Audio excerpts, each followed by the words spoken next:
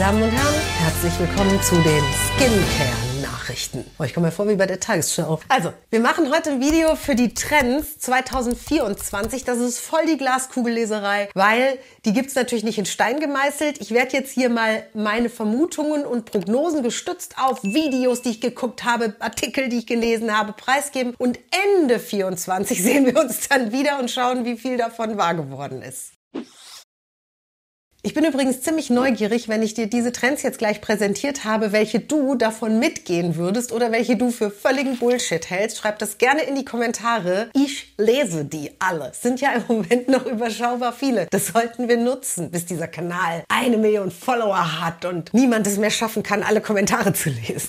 Trend Nummer eins den nehme ich schon jetzt wahr und ich glaube, dass der sich in 2024 weiter fortsetzt. Ich hoffe es sogar inständig, nämlich Nachhaltigkeit. Nachhaltigkeit bei Kosmetik setzt sich langsam durch. Sehr viel mehr Verbraucher und Verbraucherinnen schauen beim Kosmetikkauf auf die Nachhaltigkeit der, der Rohstoffe, die Produktion der Rohstoffe, die Verpackungsmaterialien. Das finde ich saugut, weil Kosmetik ist ein Luxusgut und wir sollten tunlichst darauf achten, dass wir damit weder unseren Körper noch diesen Planeten beschmutzen. Deswegen Deswegen tipptopp und dieser Trend darf ruhig weiter nach oben gehen. Der zweite Trend finde ich super, habe ich viermal im Internet gefunden, dass der für 2024 mehr Bedeutung bekommt. Skin Minimalism. Oh, es ist so schön, dass wir so englisch geworden sind in der Kosmetik. Also Minimalismus. Es geht nicht mehr darum, 500 Produkte zu Hause zu haben und am besten alle gleichzeitig auf die Haut zu scheppern, sondern es geht vielmehr darum, achtsam mit Ressourcen umzugehen. Und die erste Ressource ist deine Haut. Das heißt, in den Spiegel zu schauen, festzustellen, ups, da sehe ich eine Herausforderung, da sehe ich ein Problem und dann aus dem Spiegelschrank den perfekt passenden Wirkstoff herauszuholen und den eben auch mal wirklich für vier, fünf, sechs Wochen zu benutzen, damit die Speicher in der Zelle und in den Zellzwischenräumen damit sich wieder auffüllen können. Es gibt so eine Grundregel für diesen kosmetischen Minimalismus, der ich auch fröne und das sind drei Produkte am Morgen,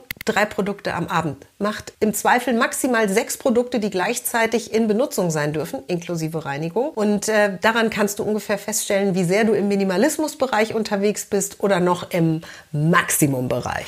Wenn dir dieses Video gefällt, dann schenk uns doch bitte ein Like, umarme unseren Abo-Button und aktiviere auch gleich das Glöckchen, dann verpasst du nämlich kein einziges Video mehr von uns. Der dritte Trend, von dem hatte ich überhaupt nichts gehört, hatte ich nichts mitbekommen. Ist auch nicht ganz mein Gewerk und doch, das ist die sogenannte Kopfhautpflege. Also ja, seit ich Kind bin, gibt es irgendwelche Elixiere und Tinkturen für die Kopfhaut. Bei den Männern geht es ja dann meistens um mehr Haarwachstum und ansonsten eben um tatsächlich auch Krankheiten, also sowas wie Schuppenflechte oder sowas. Und dass es da jetzt einen kosmetischen Trend gibt, auch für Frauen, I didn't know. Es eröffnet ganz neue Welten. Nur klar, unter dem Haar versteckt bei manchen auch nicht so versteckt, ist eben Haut. Und diese Haut, die möchte gepflegt werden. Logisch. Oh, warum bin ich da nicht selber drauf gekommen? Ich wusste nur nicht, dass es jetzt schon so trendet. Also es gibt wohl explizite Kopfhautbehandlungen von vielen, vielen Herstellern, von Naturkosmetik bis Science, die hier auch wirklich ziemlich effiziente Wirkstoffe entwickelt haben. Also ich konnte gar nicht aufhören zu lesen. Ihr Lieben, da mache ich mich mal schlau. Und im Moment sprecht ihr am besten noch mit eurem Friseur, eurer Friseurin darüber. Denn die haben oft diese Produkte jetzt da stehen, wohingegen sie in Drogerien und Parfümerien eher so im Standardbereich vorhanden sind. Also wenn ihr den guten Stoff wollt, fragt euren Hairstylisten. Der vierte Trend, der streichelt meine Seele. Das ist so schön, dass der es an die Oberfläche schafft. Mental Skincare heißt er, also mentale Hautpflege. Und Leute, das ist so wichtig. Das predige ich seit vier Jahren, seit es meine Marke gibt. Und davor habe ich es zehn Jahre lang in einem anderen Fernsehsender gepredigt. Unsere Haut ist so sehr verknüpft mit unserer Seele. Und es gibt Beweise dafür, dass wir über unser Wohlbefinden im Inneren extrem stark die Tiefe unserer Falten, die Anzahl unserer Pickel und auch Rosacea, Kuperose, was auch immer positiv beeinflussen können. Freunde, das nutzen so wenige. Die meisten sind sich nicht klar darüber, dass wenn sie sauer sind den ganzen Tag, witzig, ne, sauer? Das war eine echte Fehlleistung, obi, obi. Dass dann auch eben die Haut irgendwann diese Säuerlichkeit nach außen zeigt. Denn die Stresshormone, die wir dabei ausstoßen, sind nun mal nicht zuträglich. Die Muskelverspannungen, die entstehen im Gesicht, Gesicht, auf der Stirne. Die vertiefen Falten optisch um ein 10 bis 20-faches. Was bedeutet das jetzt? Der Trend in 2024 wird sein, dass Kosmetikhersteller sich auch immer mehr überlegen, wie können wir auch die mentale Gesundheit, das mentale Wohlbefinden der Kundinnen und Kunden unterstützen, um dann mit entsprechenden Produkten mit auf dieses Konto einzuzahlen. Ich kann es kaum erwarten. Miri Mental Health. Ich sehe schon meine neue Linie vor mir. Ich liebe das so sehr. Der nächste Trend 2024 ist ernst. Aber da geht es nämlich um professionelle Skincare-Routinen für zu Hause. Der ist allerdings ganz spannend und zwar deshalb, weil Menschen sich immer klarer darüber werden, welche wissenschaftlichen Möglichkeiten es gibt, um zu Hause Falten zu minimieren und Pickelchen wegzubekommen und Rötungen und Kuparose und hängende Partien im Gesicht. Und sie schaffen es mit Produkten, die sie sehr bewusst kaufen, gerne auch ein bisschen mehr Geld investieren, ihre Haut. Ja, das ist, fand ich so schön.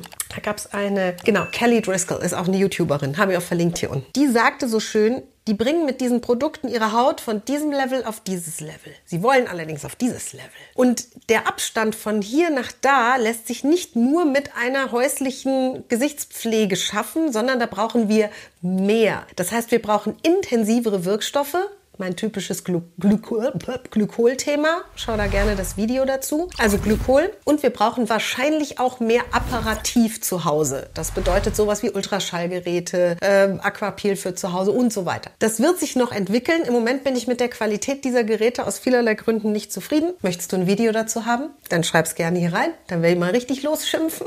Nur das ist ein Trend, der 2024 auch seitens der Forschung weiter fortgesetzt wird und da bleibt es auf jeden Fall spannend. Das heißt, wenn es dich interessiert, dann schau in der Presse, im Internet, was es da so alles geben wird. Ein Anspruchstrend für 2024 wird Porenminimalisierung. Ja, das ist ein Thema, was uns gerade auch im zunehmenden Alter mehr beschäftigt. Die Haut verhornt stärker, braucht deswegen größere Poren, damit sie überhaupt atmen kann und das sehen wir irgendwann. Darauf hält Make-up nicht so schön. Das lässt uns alt und müde ausschauen, viel mehr noch als Falten halten. Und deswegen ist auch gut, dass VerwenderInnen eben beschließen, jawohl, bei Poren, da wollen wir gerne noch ein bisschen mehr Wirkung sehen. Und die Hersteller richten sich nach diesem Wunsch. Das heißt, es wird sehr viele Kosmetikpremieren für Porenminimierung geben. Ich bin schon sehr gespannt. Meine Helden gibt es schon und die haben wir wirklich ausentwickelt. Das ist mein Nightshift absoluter Porenminimierer und meine Vitamin C-Linie. Kannst dich ja gerne mal informieren, wenn es dich interessiert. Wirkstoff News 2024. Peptide werden durch die Decke gehen. Als ich das gelesen habe, echt überall dachte ich, das ist doch ein Trick der Industrie. Peptide gibt es ja nun schon seit einiger Zeit. Wobei, zu Ende geforscht ist da noch lange nicht. Wir wissen, da ist auf jeden Fall ein goldener Top am Ende des Regenbogens. Nur so richtig gesourced hat es noch keiner. Und es gibt schon tolle Fortschritte. Es gibt super abrupte Peptidkomplex. Es gibt super erforschte Komptid. Es gibt, oh, es gibt super erforschte Peptidkomplexe, wie zum Beispiel Retro-Use oder sowas. Nur da geht noch was. Und jetzt halte dich bitte fest, wenn du Miri-Kosmetik schon kennst. Nächstes Jahr ein Riesentrend werden Kupferpeptide. Freunde, das, seit drei Jahren döngel ich auf Kupfer rum und schrei euch im Fernsehen an und sage, kauf Kupfer. Warum? Weil es das Flutlicht für die Haut ist und weil es eine super schöne Kollagenaktivierung mit sich bringen kann und weil Kupfer einfach gut ist. So, wollte ich nur mal gesagt haben. Ich glaube, ich bin den Trends voraus. Was verschwindet 2024 vom Kosmetikmarkt? Hm, da bin ich einer Meinung mit einigen Kosmetikbloggerinnen. Hier auch auf YouTube haben wir auch alles unten verlinkt. Niacinamide wird sich etwas abbauen. Vitamin B3 habt ihr wahrscheinlich auch was zu Hause rumstehen, entweder als relativ pures, reines Serum oder eben auch vermischt mit anderen Wirkstoffen. Warum? Viele, viele Kosmetikverwenderinnen haben festgestellt, dass sie, wenn sie Niacinamide-Produkte benutzen, dass die Haut darauf auch zickig reagieren kann. Nicht von einem, sondern von mehreren. Und da Hersteller sich irgendwie in den letzten vier, fünf Jahren darauf committed haben, dass Niacinamide ruhig überall reinkommen, ist es eben nicht so, dass wenn du ein hochwirksames Niacinamide-Serum zu Hause hast, dass das einzige Niacinamide-Produkt ist, was du benutzt, sondern vermutlich sind die auch noch in deiner Creme, in deinen Ampullen, in deiner Reinigung, in deiner Sonnencreme und in deinem Make-up. Und dann stapelt sich das Vitamin B3 irgendwann so sehr auf der Haut, dass die Haut vielleicht auch mal abwinkt und sagt, so, es reicht jetzt. Also hab davon echt genug. Und wir vermuten alle geschlossen, dass dass das so ein sich rausschleichen wird. Also, dass die Hersteller nicht draufschreiben werden ohne, sondern dass es ein, es wird wieder mehr Produkte geben, wo die einfach nicht als zusätzliche Einheit zu einem anderen Heldenwirkstoff noch mit eingebracht werden. Und dann noch der letzte Trend für dieses Video.